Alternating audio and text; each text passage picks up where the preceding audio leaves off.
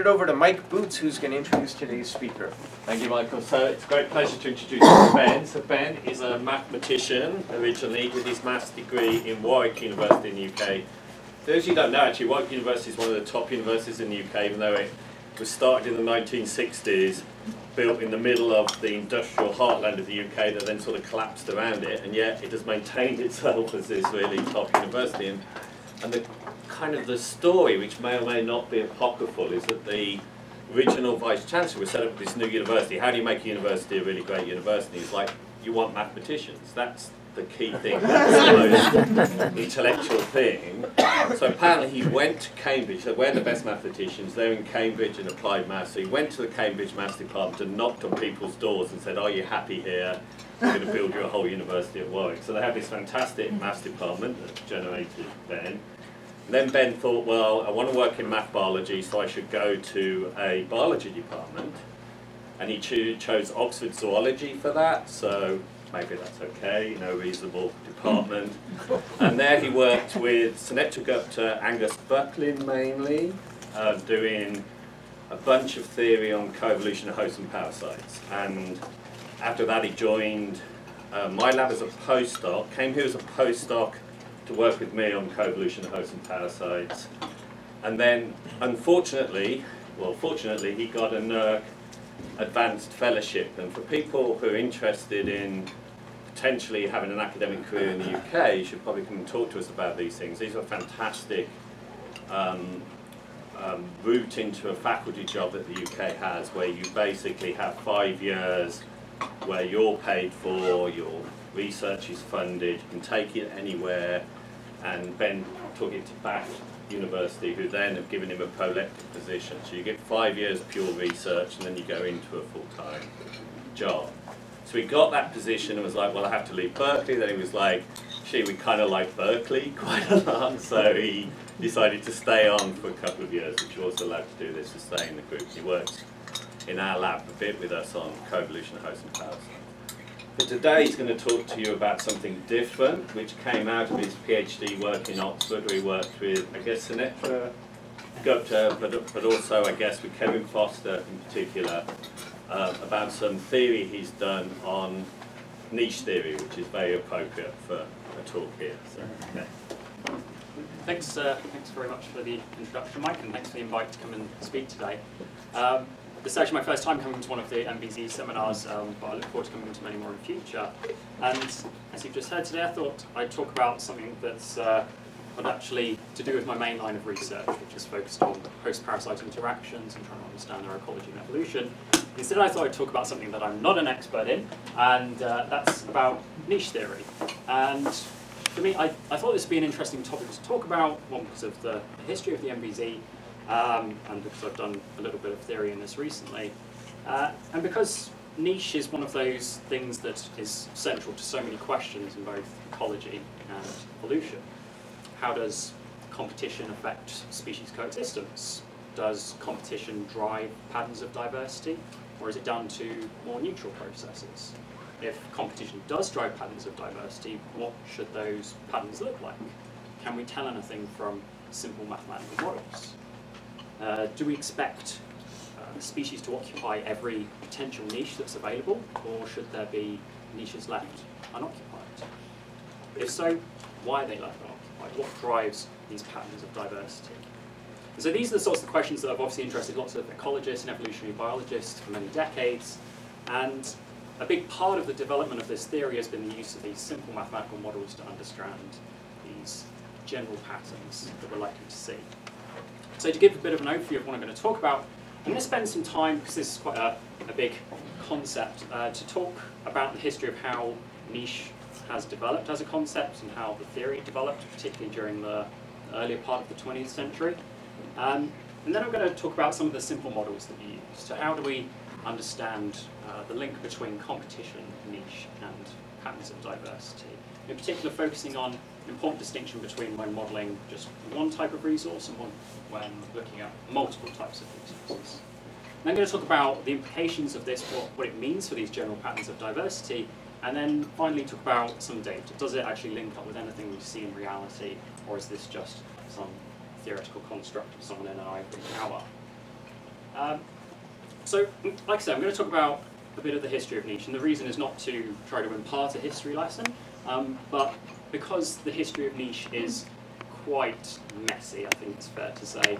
It's one of those areas, if you look at the literature, where it's uh, there's lots of definitions thrown around, and it tends to receive a bit of mixed press. Uh, so, for example, uh, the niche concept remains one of the most confusing and yet important topics in ecology. That's pretty fair.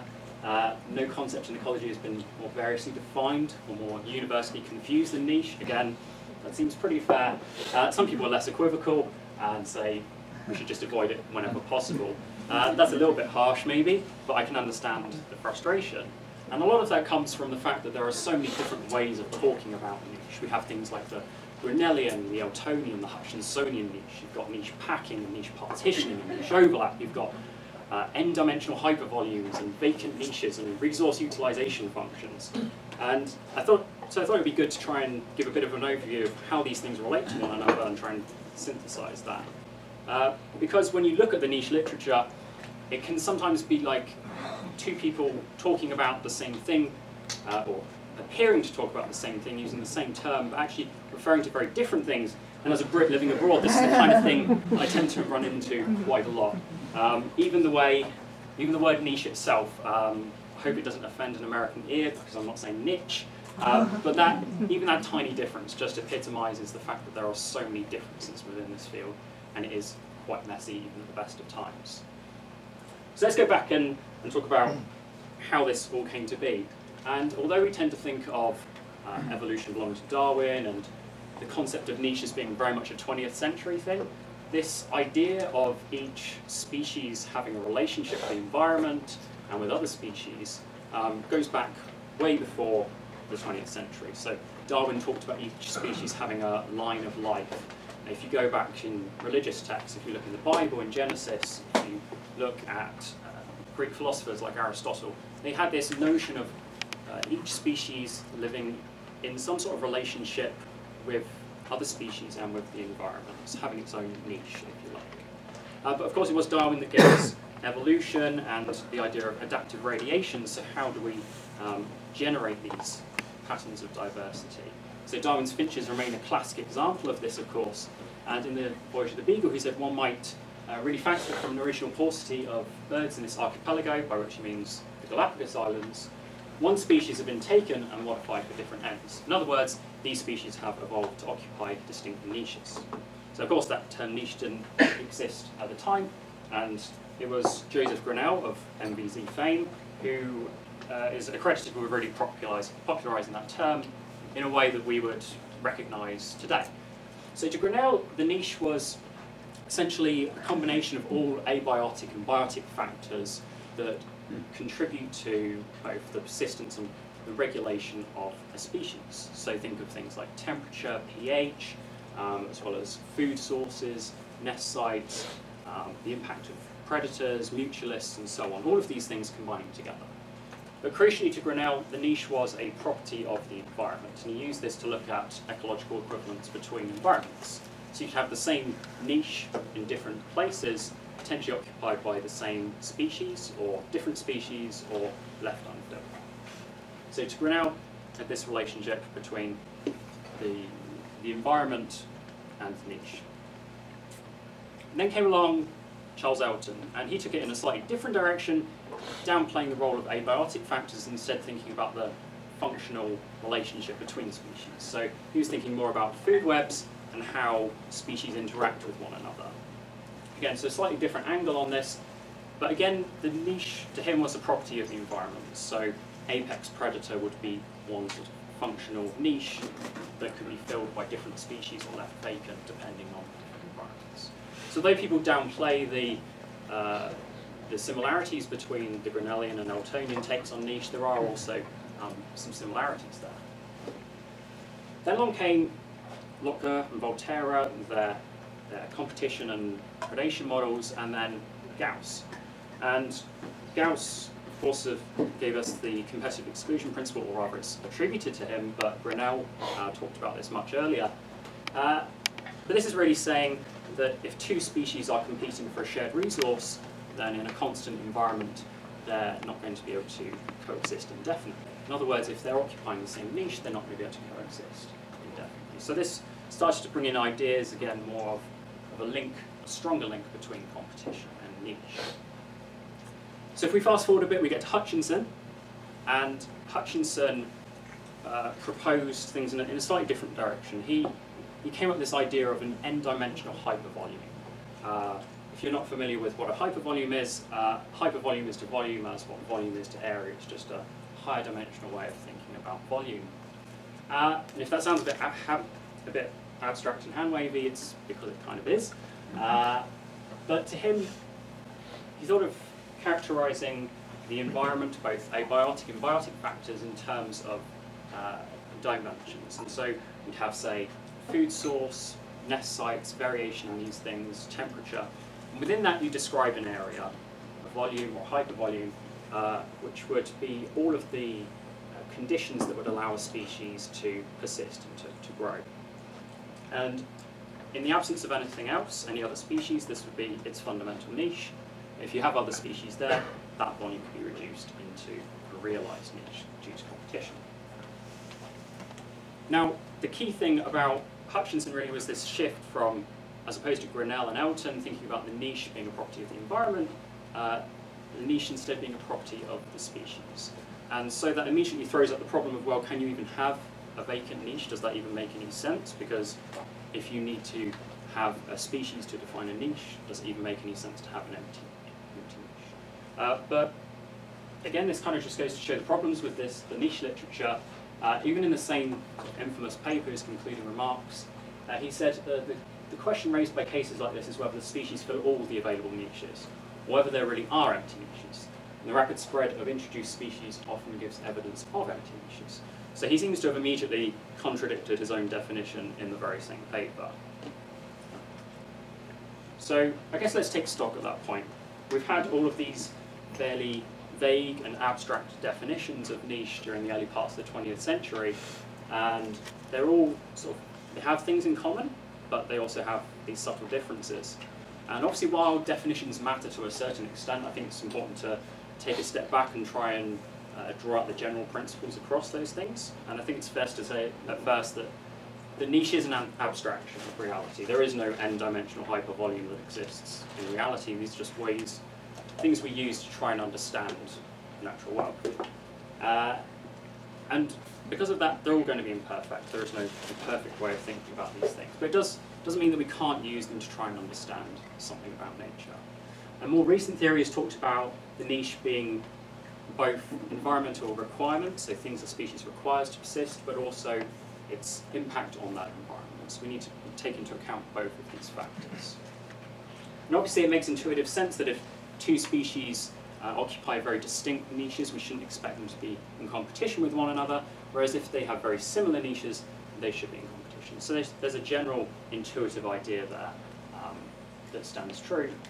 And this brings us to how do we then expect competition to drive patterns of diversity, the evolutionary ecology of niche.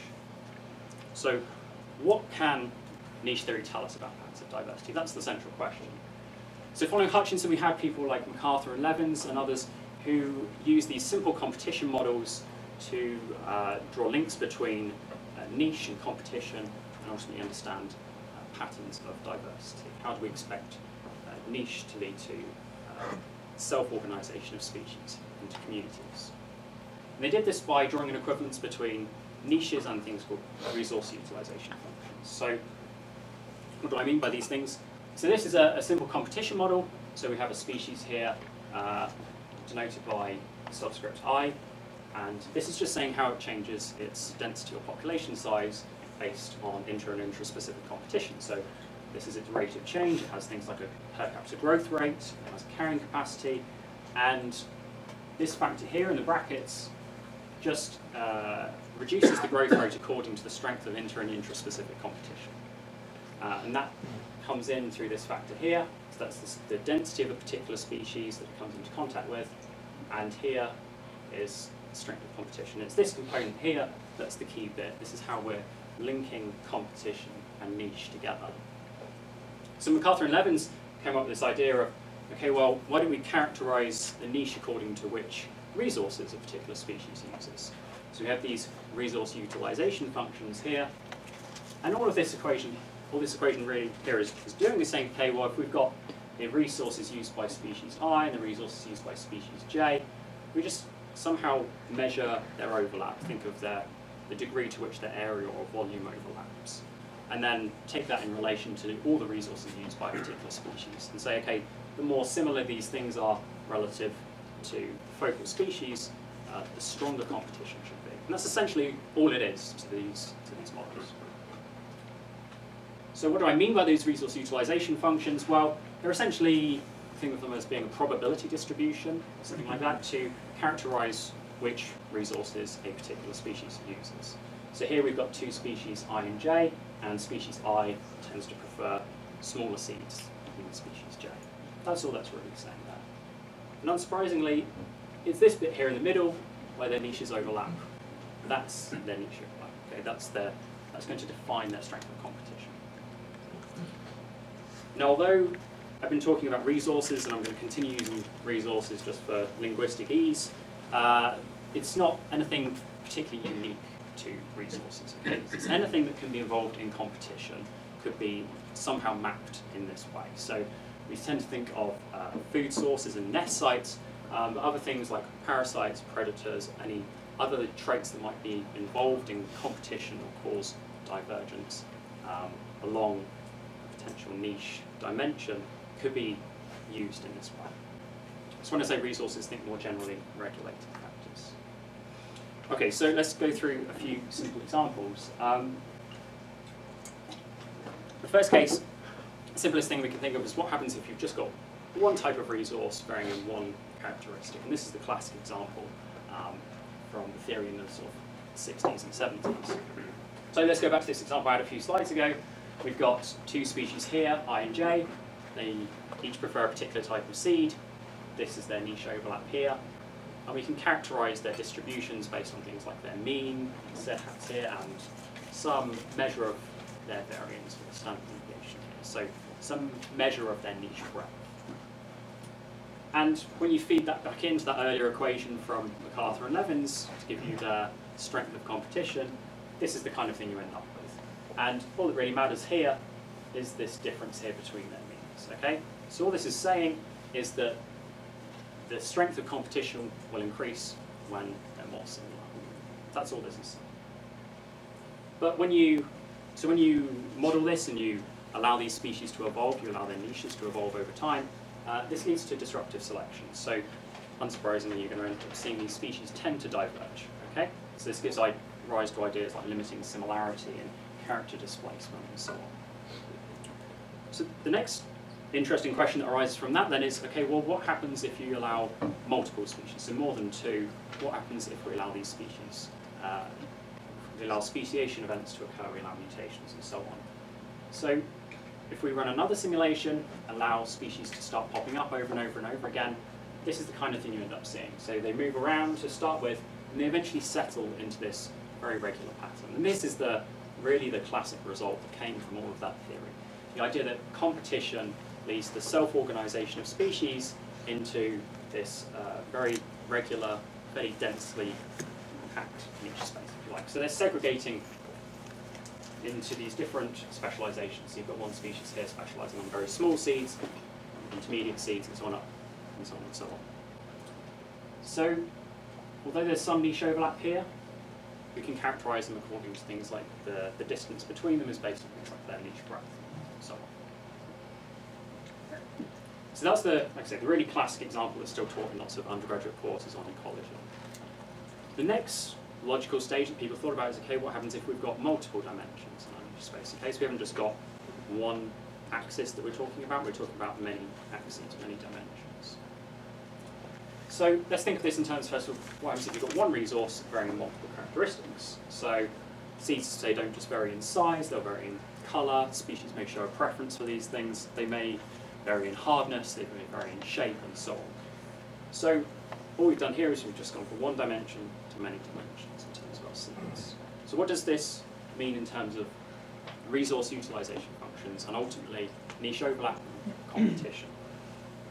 So again, if we've got these two things, we've got seed size, we've got seed colour, we can describe each species by uh, a distribution on each axis. So have preference, they have a variation.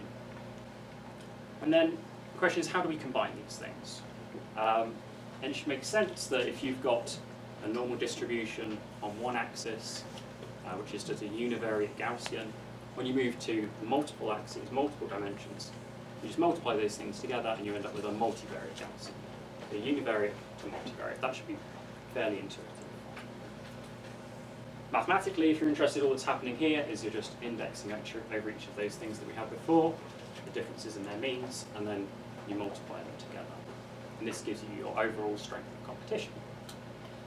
So if we run a simulation, again, we've got seed size, seed color on these axes. What, what do we end up seeing? So each of these dots, again, represents a niche. And you end up seeing something that's very similar to what you saw in that first case in one dimension. Okay, so it's highly analogous here.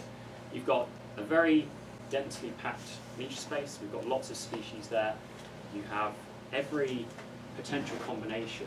So if you discretize these things, you'd have every combination of seed size and seed color represented. And you have this very regular pattern. You have the same sort of distance between species, all of these sorts of things. So densely packed, very regular.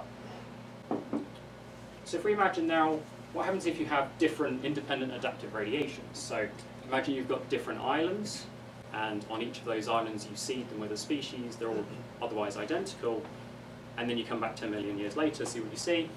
And although the trajectories might be different between those environments, the theory predicts that you're going to end up with essentially the same niches filled on all those different environments. So even though these are ind independent adaptive radiations, because of this dense niche packing uh, and these regular patterns that arise, you end up seeing the same outcomes in these environments.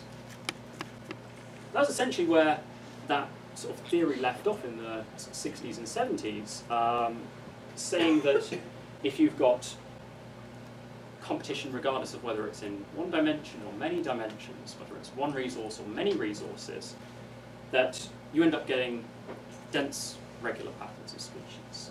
So we should expect to see all potential niches occupied environment. That's essentially what that competition theory said. Uh, but that doesn't really make sense because my argument is that single and multiple resources have to be treated differently. We can't treat them the same. The question is, does that then lead to very different patterns of diversity or not? Does this actually matter?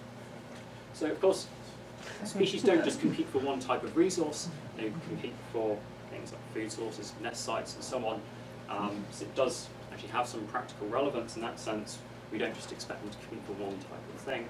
Um, and again, more generally regulating factors. And the question is really, can you combine these things in a sensible manner, or do you just multiply them together in that naive manner earlier? So what do I mean by that? Well, okay, let's go back to this, these distributions, kind of like what we had before a few slides ago. Again, we can describe a species' uh, preference for a certain type of seed. We can describe its preference to nest at a certain height. The question is then, how do we combine those things? So the classical theory said, again, you've got univariate Gaussians in one dimension, you just multiply them together and you've got multivariate Gaussians. And then mathematically, that kind of seems to make sense, and that's sort of where this misstep happens. I guess it's a cautionary tale of, of always making sure you, you're going back to the underlying biological processes when modeling something, because while something might make sense mathematically, it doesn't necessarily make sense biologically. Um, the reason that doesn't make sense, hopefully, should be kind of clear, because this is essentially saying that if you've got two species and one of them they're identical, one of them diverges on the type of seed that it likes to feed on, then that's going to completely remove all competition. But obviously, it's, it's still competing for nest sites, there's got to be some element of competition still there. So, my argument is it looks something a bit more like this. Uh, so rather than multiplying those independent uh, distributions together, you need to weight them and add them. And so all this kind of pattern here is saying is that no matter how much you diverge in one direction, say in terms of your seed size, that doesn't affect competition for nest size. Again, this should be painfully obvious um, in many ways, and I'm kind of surprised that it wasn't picked up in that original theory, but it's, it's sort of stood there for 40 odd years or so. again, mathematically what's happening, we're just increasing the indexing here, you're interested, so you characterize each resource type or regulating factor. You can multiply within those, but when you combine them, you need to weight them and add them together. And the reason you weight them is because in some cases, say, competition will be stronger for nest sites than it is for food resources. Okay, so I've made a big fuss about this distinction between single and multiple resources. Does it actually have any impact, any qualitative impact on the outcome? And it does, otherwise it'd be a waste of my time. Uh, so here we've got, again, we've got seed size, we've got nest site, this is another simulation, exactly the same kinds of environmental conditions otherwise. And here, you see that each of the, the species have, have separated on both of these axes. So there's a sense of non-overlapping associations between these things because they're not substituted.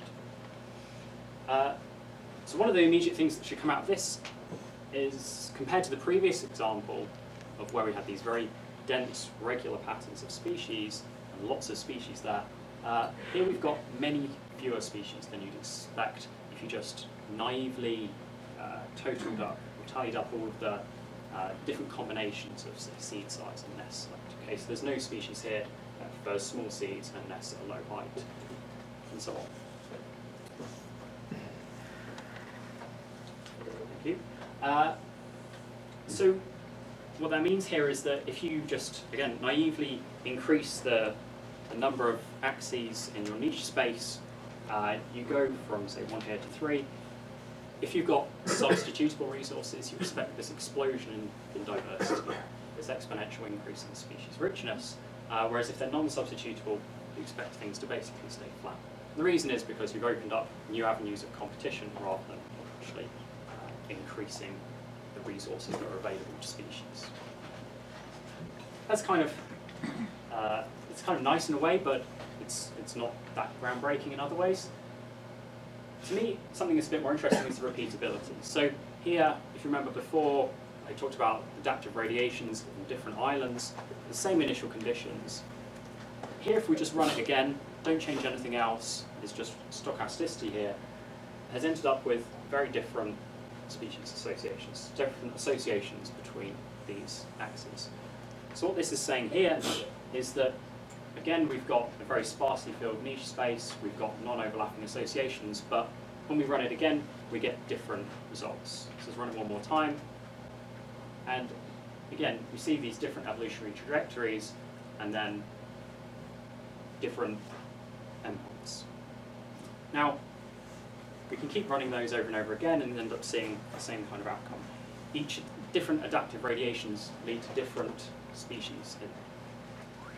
To me, this is kind of interesting because what it's saying is that if you were to take identical environments, seed them with the same species, come back 10 million years later and, and see what species are there, you're going to end up seeing, or you're likely to end up seeing very different things.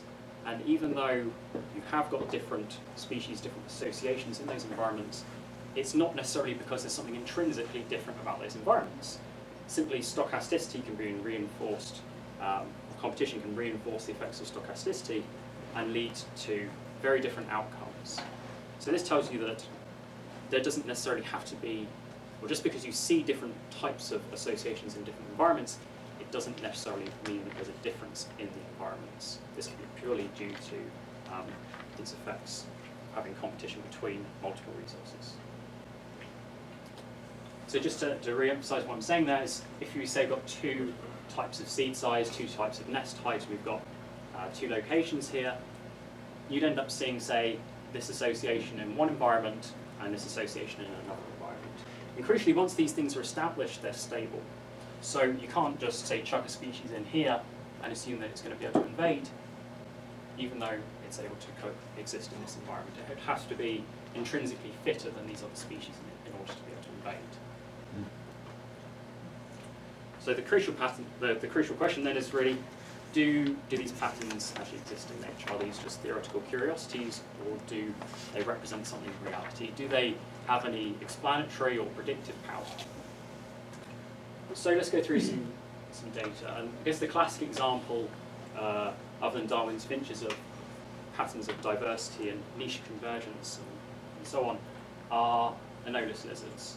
Uh, and we can characterize them according to different things. People talk about them in terms of their ecomorphs. So if you're not familiar with this, this is roughly a characterization of uh, both morphological and behavioral traits, the structural habitat, and so on.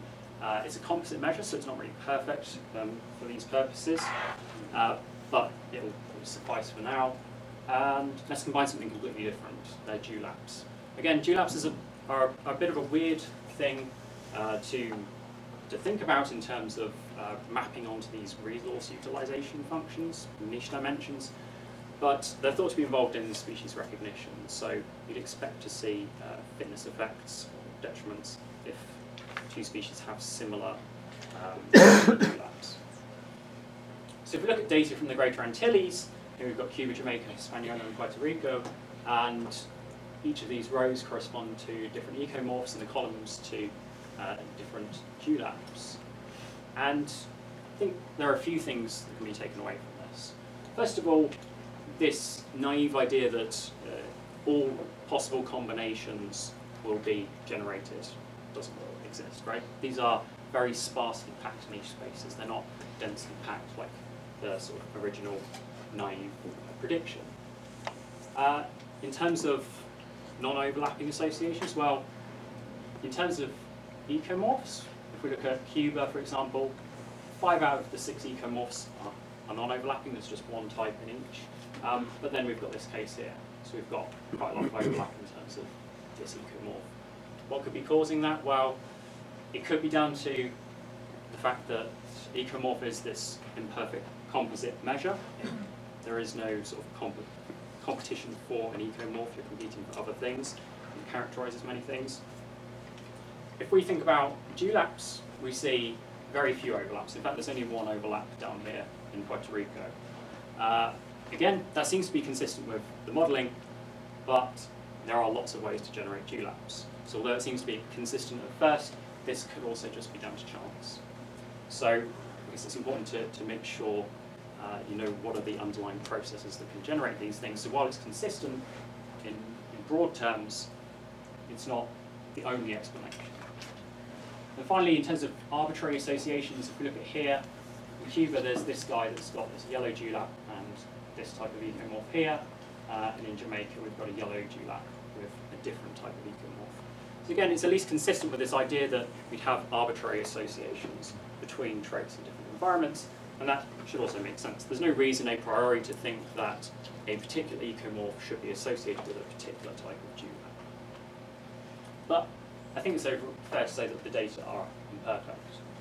So let's look at another example. Here we've got data on native and invasive bumblebees, and the study is characterised according to their nest site and their foraging sites. Uh, you can also characterise them according to their proboscis length, so um, in terms of which flowers they'll actually be feeding on in those environments. So there's a bit more data here in terms of how we can separate things. But again, we see some aspects of the modelling and some aspects that don't agree with it. So in terms of uh, nest sites, Diversus tersatus here, Bombus diversus tersatus and Hippocritus afarensis, they seem to overlap on nest sites. There's only one nest site here for this species, so data aren't great. There seems to be an overlap here that doesn't really sit in theory. It's not clear why that's the case. In terms of uh, foraging sites, these two overlap here, but their proboscis lengths aren't actually quite the same. So it seems to be that there is some niche overlap here, but it's not uh, not total. It also seems to be in this system there's quite an abundance of flowers. So if we go back to those ideas of weighting competition, we should expect the competition for flowers should be weaker probably than competition for nest sites. The interesting thing is what happens if you introduce uh, Bombus terrestris. So it's invasive to Japan, and it sits down here in this right, bottom right quadrant. So it overlaps with uh, afarensis for both flower sources and nest sites, and accordingly, that species has suffered severe declines. Uh, it overlaps with Diversus tersatus in terms of nest sites, and that's also experienced some declines. This species up here hasn't experienced any declines, even though there is a certain degree of overlap in terms of their flower sites.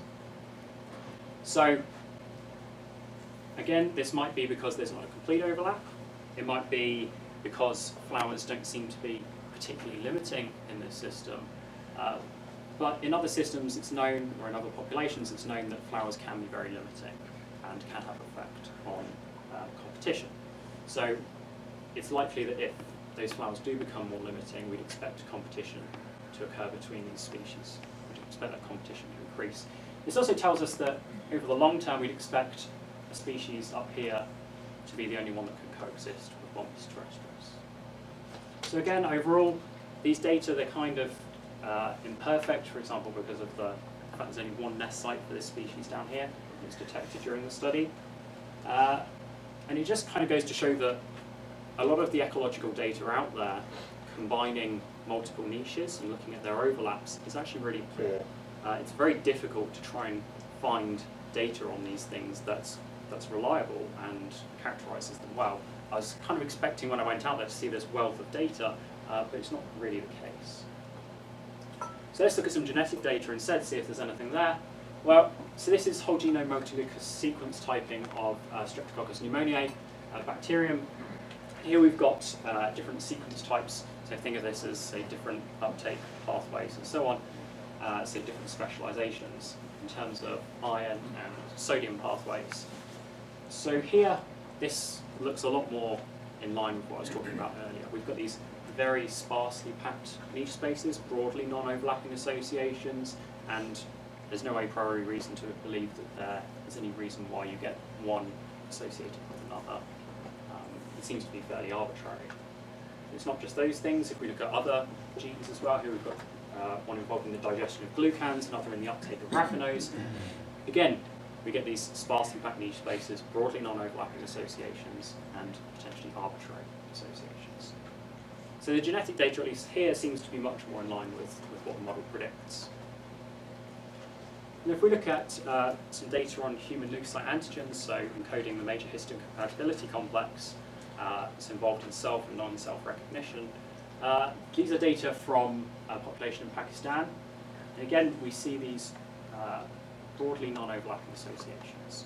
So although this is intraspecific diversity, um, there's a, a precedence in infectious diseases that um, pathogens should tend to have different um, antigenic repertoires. So if they've got two antigens, they want those to differ from everything else that's out there, otherwise they'll experience cross-immunity.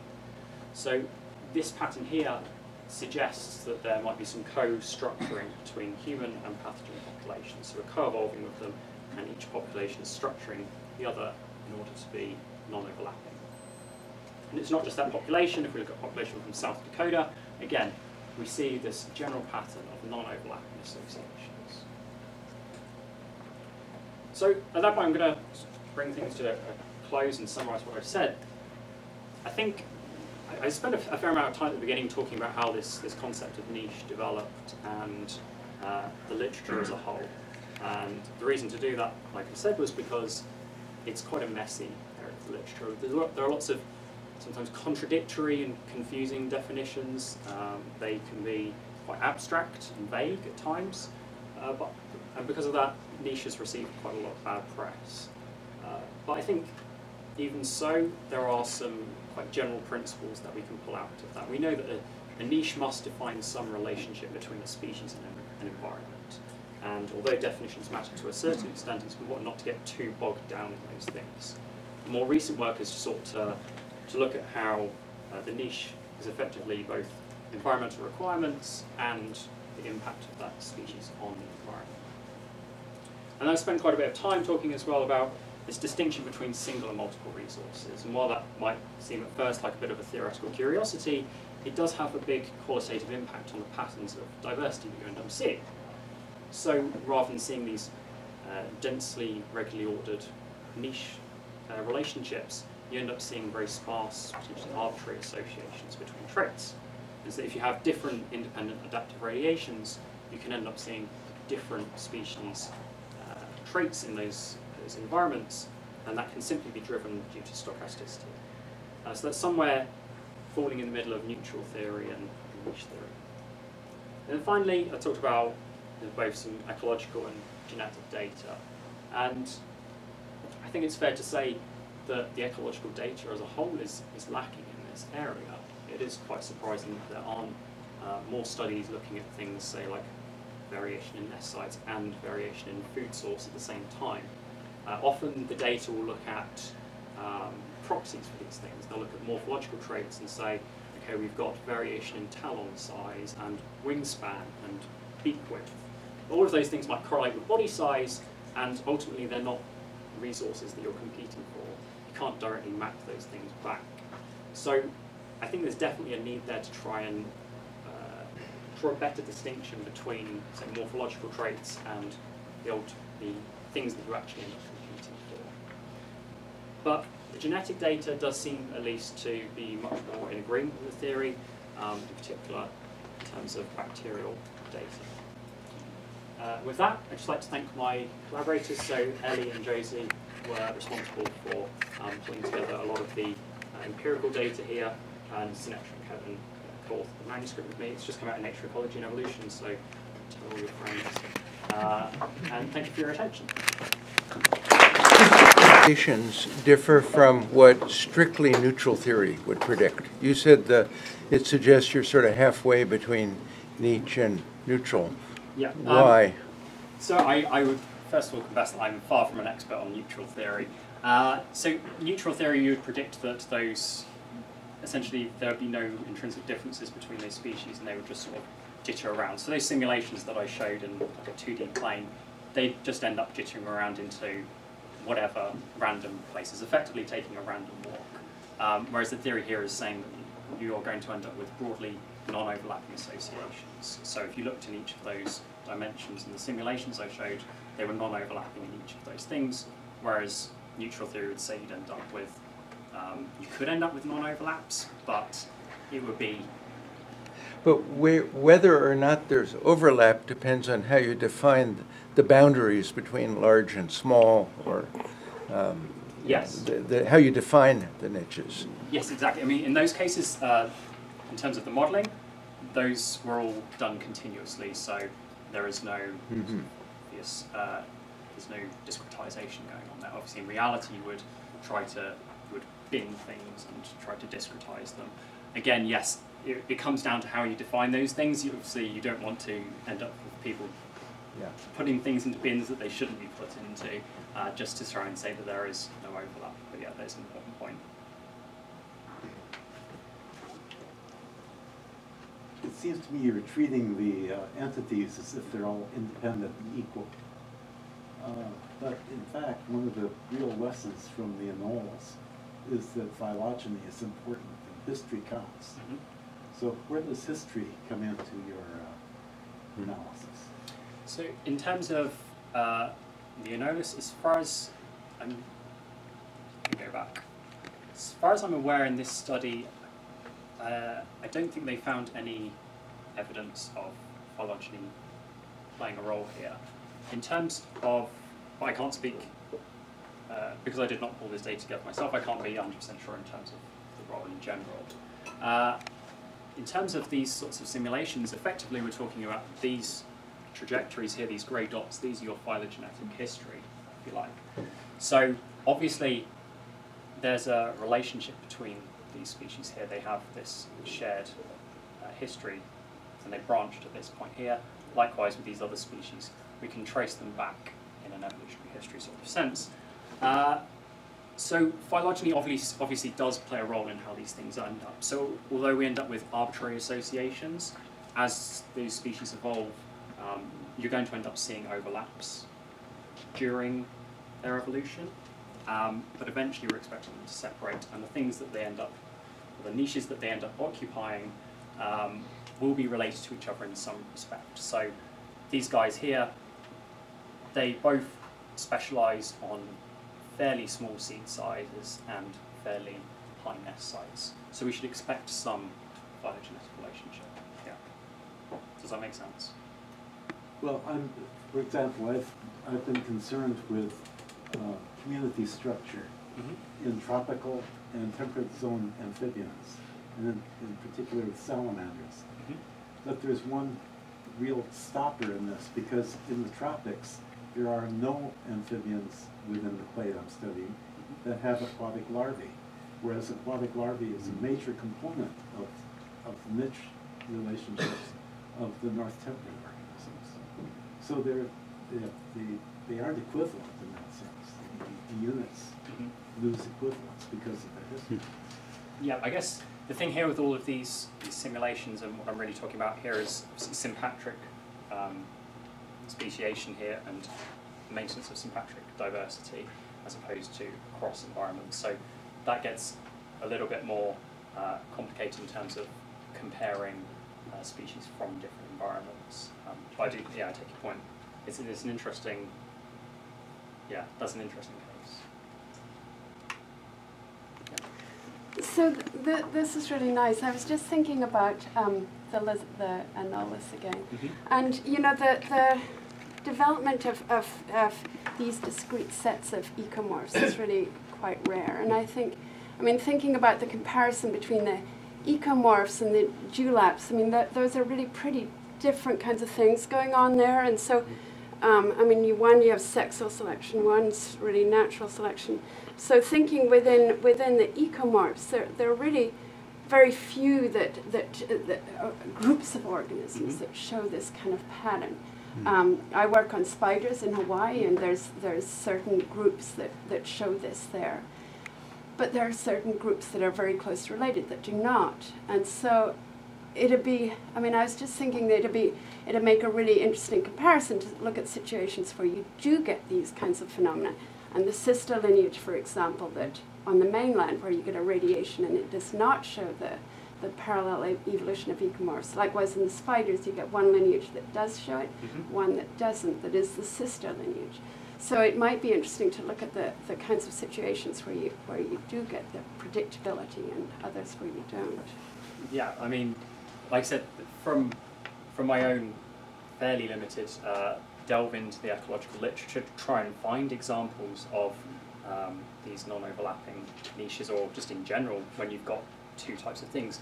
One of the reasons I ended up with this slightly bizarre example was because other than the bees, yeah, it was very difficult to find any uh, reliable data that we could try and map in these ways. Uh, so I completely agree. Like, there's definitely a need to try and expand into more systems, try and understand what these patterns do actually represent reality or not. What about uh, fish or cichlids in particular? So you get this independent evolution of benthic and limnetic and then all these other feeding specializations. And then layered on top of that, uh, you have things like dewlaps, you have color variation Yeah. that's driven by sexual selection. Does it, does it fill this, this sort of niche space, space more completely than? Cichlids are not one thing that we've looked at yet, but is something definitely to look at. Yeah. And, and, and you see that benthic limnetic thing arising not just in cichlids, but in lots of, lots of fish. I mean, lake whitefish and sticklebacks, and it seems to be a common pattern. Yeah, definitely stick. Um, yeah, cichlids definitely one to look at. Yeah. Yeah.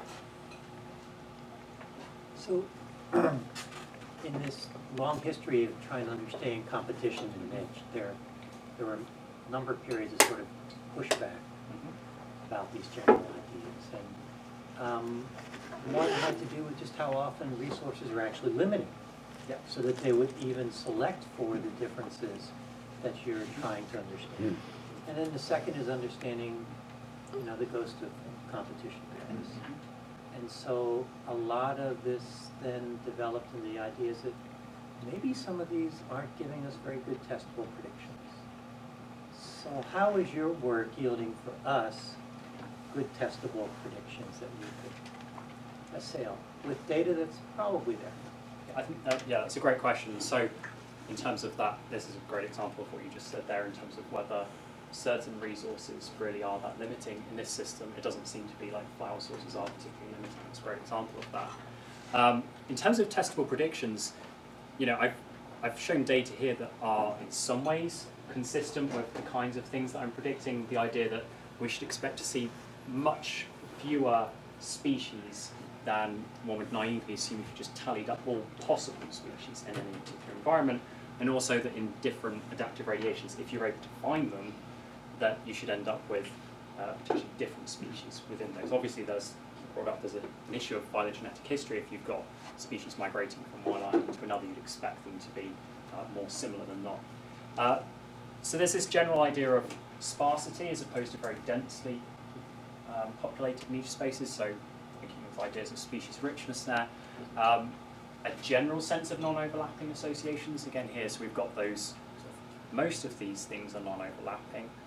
With dewlaps, it might not be the case. It could be down to just chance because there's so many different ways of generating them. So it's important to take into account those things. Um, but overall, you'd, and again here there's an overlap. Again, overall, you'd expect elements of sparsity, non-overlapping associations, and if you were able to look at independent adaptive radiations, you'd expect to see more often than not arbitrary associations. So you wouldn't expect to see the same things popping up in different environments.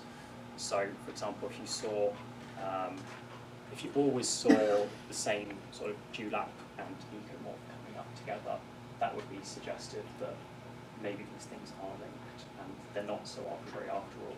So I think there are a few general predictions here. I think it's important to say that, like with any model, these are very, very simple models. They're about as basic as you get can get in terms of, of uh, coming up with sort of evolutionary predictions. And in reality, there, there are going to be lots more complex things that would feed in there. So if we think about metapopulation structure, immigrations, gene flow, and so on, that's going to influence um, these associations. It might break down that non-overlapping association if you've got lots of immigration coming in. Um, I think, like I say, I think there are some general predictions there. The ideas of sparsity, non-overlapping, and arbitrary associations that could be pulled out. Okay, well, let's thank Ben for a great talk.